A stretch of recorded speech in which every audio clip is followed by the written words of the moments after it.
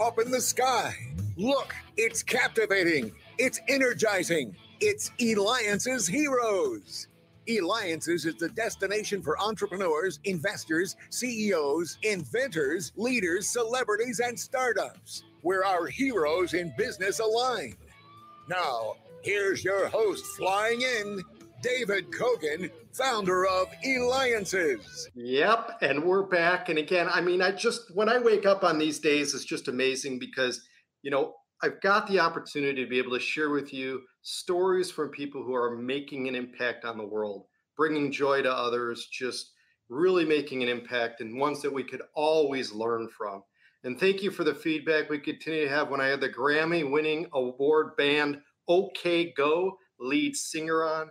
So make sure that you check out the past episodes of eliances.com. That's E L I A N C E S.com. And make sure you stick around because later on in the show, we've got the CEO Steinberg Sports coming on. Yes, he's the one that negotiated the $650 million contract with Patrick Mahomes. So make sure you stay tuned. Well, I got to tell you, I can't wait to introduce our next guest today. You know, to be able to make a living playing with water and be able to make an impact on so many people, you're going to be blown away of what he does for a career. Welcome to the show, Mark Fuller, the CEO of WET, Water Entertainment Technologies. You can reach him at wetdesign.com. Mark, steal the thunder you do so much incredible things with water and you make a living playing with water. Tell us some of the amazing things you've done with water. Hi, David. Uh, you know, they're truly the most amazing. And this is like, you know, fresh, what should I say? Not out of the oven, fresh out of the clouds. Can I say that? Um, I just flew back from Dubai where they the Dubai Expo has just opened, the biggest, most spectacular expo slash World's Fair in the history of the world. And we did the centerpiece water feature there. Um, we're doing waves that start nine feet high in a coliseum that you can stand in the middle of. They rush down at you to the music of Ramin Djawadi, who composed Game of Thrones and so many other pieces, original music for this. And then just before they wash you away, they reverse and, and wash up the walls. I mean, we we we sort of work with nature, and sometimes nature wins, sometimes we win. This time I think we went. The water goes backwards. How do you though? How did you even like come up? I mean, did you? When did you say, you know what? I want to make a living. This is what I want to do for a career. Well, yeah, I don't know that I did make a living. We just plain have fun, you know. And I go down to the I go down to the cash room, the finance guys, the other end of the building one day, and say, "Yeah, you know, we still in business? Yeah, we're still in business." So we go out and knock out another one. I mean, we did the Bellagio's, you know, and the, uh, what's I guess still the largest fountain in the world, the Dubai fountain, and a lot of really precious small ones along the way. But water is well, water is the essential element of, of life, right? I, I, we live not too far from JPL, and when those guys shoot off a space probe to look for life, they actually don't look for life. They look for water because without water, they cannot be life. Now, how did you create? I mean, the Bellagio's is, is certainly one of the most famous ones. Also, I mean, you know, how many millions upon millions of people have been entertained by it, and there's not even a cost to see it. You know that that's what I think brings so many, and, we've got a, I've got a team of about 200 people here. And one of the things that brings us to work every day is the fact that you can be by one of our features. Take that Bellagio. You can look to your left, and it might be Rupert Murdoch, you know, multi-billionaire, and you can look to the right, might be a homeless person.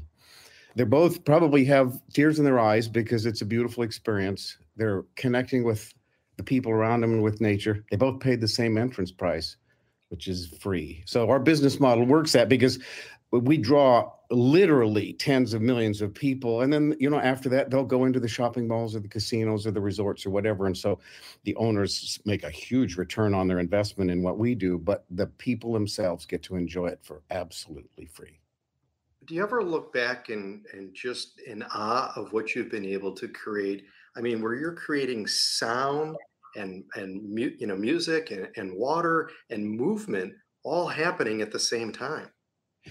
Well i give myself a very few rules to live by but one of them is never look back. So that's that's the short answer to your question. I don't. But looking forward uh, uh, you know we're always looking for ways I'm going to say to connect people because, especially in the pandemic and the masks and all this stuff that's gone on, uh, I, I think as humans we we crave connection to, to our families, to, to people that are strangers around us. Uh, I, you know, I talk to people in elevators when I get in. It just it's a natural instinct, and, and sometimes you make a friend that way. And and we also by what we do, we connect with nature. Uh, you know, the water, fire, sunlight, sounds, and music. I think we got like a couple of I don't know, 10 million years of, uh, you know, built into us uh, of that as creatures. And I'm, we're looking at each other on this flat screen now, right? And, and some of the kids will say, oh, that's 3D. It's not 3D. I can touch it. It's very, very flat. So we have a craving for the, what's real in life. And that's what we work with, not simulations. I love, I love iPads and all that stuff. Don't get me wrong, but, but we connect people with what is real. And I think that's essential to all of us as human beings. And again, we've got with us Mark Fuller, the CEO of WET water entertainment technology. He created the Bellagio, many other incredible water creations and music creations, and bringing just came back from Dubai. Uh, I, I, mean, truly incredible stuff. You can reach him at wetdesign.com because you're listening and watching me, David Cogan, host of the Eliances Hero Show. So make sure you go to eliances.com. That's E L I A N C S.com to check out past interviews. And thank you to our sponsor, Hirect.us. That's H I R E C T.us. They are the app for startups for hiring. Startups, you're out there, you need to hire, you got to check out this app. Make sure you go to hirect.us, H I R E C T.us. Mark, at what point, though, you know, I mean, I went to college. There was never the major of studying water. You know, I never saw this in any book, any classrooms, anything of that. Like, how did this even come to be where you're able to make a living doing it? You know, when, when I went to college, David, and I took five and a half years to get what you might say is a four year degree, but I, I, found college to be kind of a Disneyland of knowledge. So I took classes in theater, I took classes in physics, in, uh, in architecture, although my actual degrees in civil engineering, I took a lot of liberal arts classes. And I want to say one thing to, to, to all, all the young people going to, to college or anywhere learn what interests you and fascinates you and what you're curious about. There is not a single thing that you will learn that somewhere in life you won't find an application for. And mine just happened to be all, all these crazy things put together. I mean, remember Steve Jobs' comment about he stumbled into a to a you know calligraphy class, and voila, a few years later, you know, we have the wonderful Mac, uh, uh you know, flowing fonts and so forth. And that's not limited to Steve Jobs. That's something all of us can do. Learn things that are fascinating, meet people that you're curious about, find out what they do. It'll come together. I promise everybody will. And Mark, but you're creating things that have never been done before. Even what you mentioned in Dubai with water moving in opposite directions and and being almost so submersed in it without getting wet. Yeah, it's it, you know we always say to ourselves, suppose there were a touch of magic in life. I mean, I, th- I think most of us love Game of Thrones because, well, when the, when the show starts, there is no magic, right? The dragons are all supposedly dead, a thousand years pass, and and they come to life. And uh, you know, those of us uh, uh, who are Christians remember back, oh, ancient times there were miracles and so forth. But it seems like today, gosh, there just isn't any magic in the world. I don't think that should be. So what we do is we touch life with a bit of magic. That might be absence of gravity, water flowing backwards, water uh, conducting light like a liquid fiber optic, and you can send signals over it. Uh, things that you can step into and think you're going to get washed away, and suddenly the wa- you're walking across the water like you yourself are magic. That, that that brings a spark of life and the idea that there's this an underlying beauty, and we need to reach out and engage with it. I think many people don't realize the amount of time and energy and work that it takes to actually maintain it. I was recently at Bellagio a few weeks ago in Las Vegas, and I see them, you know, during the day they were doing some cleaning, some whatever things they were doing, and I was like, well, that looks like a lot of work. Uh, I, you know the the comment I get sometimes I, I will take someone underneath and Bellagio is a great example because they have a terrific maintenance crew there. There's a lot of technology and a lot of machinery down there, but it's invisible. I, I mean, I'm looking at you, you're looking at me, and you know we're thinking David and Mark. There's bones and marrow and skin and tendons I- inside here. We don't think about that, do we? But without it, we we we shouldn't wouldn't be having this kind of a conversation. So I think everything wonderful and complex and rich in nature ha- has a hidden engineering to it that we don't see. We see what we're supposed to see, which is the magnificence of interaction and connection. So, what's next for you now that you finished the Dubai? What's next? What do you see oh. the future of creations? we, we've got projects in all sorts of interesting parts of the world, and each one we look at. Uh, well, we're, we're doing a fountain now, and we're, we're starting with water that originates in the sky. Most most fountains shoot the water up, right, and it comes back down. You're, we're juggling with gravity, so we thought, let's do a fountain where the water starts at the top. Now, how do we do that? You have to come and see it. Um, it, but we always put that challenge. What what would make this seem magical? What would make people think, "Wow, I never knew water could do that before"? And then you look at the person next to you and you give them a hug or something. God, it's great to be alive. You forget your troubles of the day. That's what we strive for. Absolutely incredible. All right, so I want to do some snooping now in your office where we're at. You got a lot of books. You got a lot of interesting things behind you. Tell me, tell our audience, viewers, and listeners something unique, something you like, something that stands out?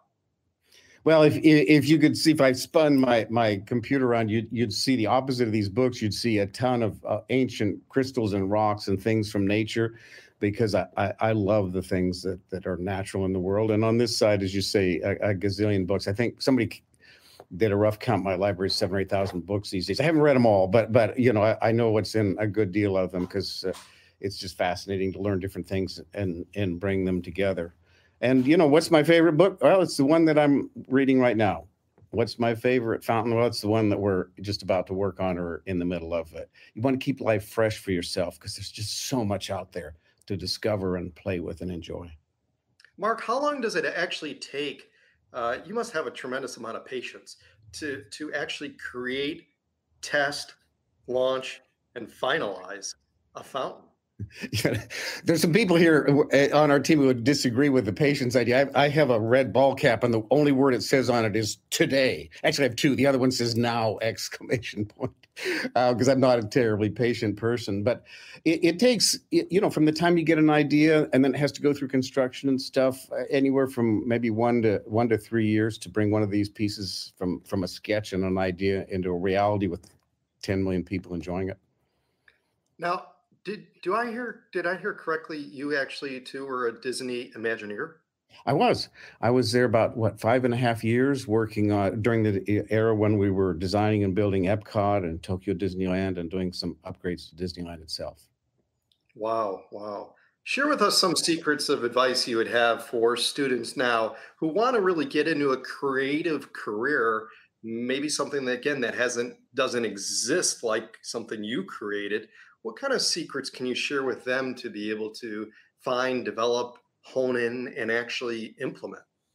You, know, the, the tendency I think in college lots of times is to pick a subject and then go deeper and deeper, you know, a PhD or whatever. And, and those are great. I'm not I'm not criticizing that. But well, I was walking down the street the other day, and I happened to be looking down because I was in thought, and I noticed the sidewalk pieces sometimes they they break or they they crack or something and inevitably between where two different objects meet that's where life comes up. You see little blades of grass or little flowers. And i think the invention and discovery of the future is not deeper and deeper into any one topic but well like here for instance we we have people who are expert pattern designers and, and weavers and we've got optical engineers and and and, and, and computer scientists. And we we we build our campus so that they inevitably get together on the snack table or the coke machine or lunch those people don't usually talk to each other. And the most interesting things come out of those conversations from people with totally disparate, you know, knowledge bases and interests. So just lead your life that way. Talk talk to the stranger. Take the class that you think, wow, this I have no idea what this is. Sounds kind of interesting from from the title. Um, and those are the things that will trigger you in the future to, to do something nobody's done before. When you create these, do you create first mini models first, or I mean, what's the process? Uh, you know, we we start very traditionally, uh, we uh, old fashioned pencil sketches, and then of course turn those into computer sketches and computer models. We still build literal physical models because um, you know the, the the thing about a computer model is you can model things that can't happen right? I mean you, i mean if you don't believe that you can do a wonderful model of a lightsaber. Okay go go go build me one. But when you have to build a physical thing it either works or it doesn't. So we add the old we keep the old tools and we add the new ones to it. And we have a, what we call our backlot here. It's kind of a mini movie studio and we'll take well like the the expo fountain we did we did an actual slice of it. It's like nine stories high full scale and that's where we developed the wave technology. Not the real ones like a coliseum but there's an actual piece like a movie set there. So that's the modeling starts small and just gets bigger and bigger and more evolved till you've worked out all the problems here. What kind of what kind of budget even exists for some of these things? Oh, you know they they can start it. I'm I mean they're not inexpensive because they're they're major public attractions, but from from a million dollars or so to uh, well the Dubai fountain is I mean is is published at a two hundred million dollar cost. That was what what 12 or fifteen years ago, and it was published in the same paragraph. Uh, the uh, the chairman of Emaar, who was the company that commissioned us to build it, said they have made 10 times that in terms of return because all the rooms at the hotels and the you know residences that look down on it of course those are the premium demand ones. So it's an in, it's an investment it's not a cost. It's an investment in the property and an investment in the joy of the people that, that come to see it. Mark how nervous are you like with the dubai one? Again you're there and you're like okay we're live this is the show. Someone hits the button. I don't know if it's you that hits the button or the person that paid the tab on it whatever it may be hits the button and you're like please, everything. Uh, well, we we try to have a whole lot of small buttons that we hit one at a time. That, you know, the, the days or weeks leading up to it, so that when the big button hits, it, it, it, all works. But there's there's no question when you're pushing the boundaries, there are things that require tweaking, and there's opportunities to to to you know tweak and and refine stuff. I, I, my hero, if I were to pick one, would be Walt Disney. And I remember once he said, you know, the downside of making movies is once you release it to the studios, it's done. The wonderful thing about Disneyland is I can walk through there on weekends and figure out tweaks and, and improvements. I'm headed back to Dubai because we're, we're going to tweak some of the choreography with some new ideas we have even the next few weeks. Wow. Does the um, Bellagio one, does that, does the music change periodically or is it the same? Is it the same music all the time? You know, that, that's such a great question. We take on on the Bellagio, we take existing pieces of music, might be a classic Frank Sinatra piece, might be a popular piece. And then with that music, we interpret it visually how, how the water would work with it. It's not, people say, why don't you have a computer do that? It would be incredibly boring. Suppose you had the New York Rockettes and you said every time there's a middle C, kick your left leg or something. That, that's how a computer would handle it. So we can take a piece of music and put a human choreographer to interpret it and another choreography, and you get two very different pieces. But in those cases, we start with existing music. And then my my my friend uh, uh, Ramin Djawadi, who, who, composed this wonderful score for this feature, he uh, and he composed, like I said, Game of Thrones, Westworld, and stuff. He's given all the all the movie composers are given a, a scene, right? It might be a car crash, it might be a love scene or something, and, and then they have to create the music to support the visual. And I said to Ramin, here's an opportunity. Suppose we both co-create. We'll create the visuals concurrently with you scoring the music, and you'll say, "Could you do more of this?" And we'll say, "Could you do more of that?" And we both had, and our team, so much fun doing that. And it's a first. It literally, I think, is a creative first, and it shows in the work. Where does your inspiration come from, though? How, how, how do you come up even with the ideas of what you create? Where's it, where's it feeding from? Um, you know, again, it's just uh, when I grew up uh, in Salt Lake in the fall, the leaves would fall from the trees, and my dad was a great gardener, great dad, mom, and they'd dig a big hole, put the leaves in, and cover it with soil, and then in the spring, he called it a compost heap pile, right? And it would kind of, uh, I don't know, the bacteria would would get it steaming, and you'd have this wonderful fertilizer, but it was all that sort of junky stuff you put in there. I consider this my human compost heap. I, I put every every dead leaf, every scrap, every piece of knowledge or, or something. I, I, just I look at it, I feed it in here, and then sometime you know in the middle of the night or the middle of the winter or something, my mind puts stuff together and out out'll pop an idea. Could be in the middle of a conversation like this. Got it. Wow, that's amazing. Amazing what you again what you're doing. And again, you're listening, watching me, David Cogan, host of the Eliances Hero Show.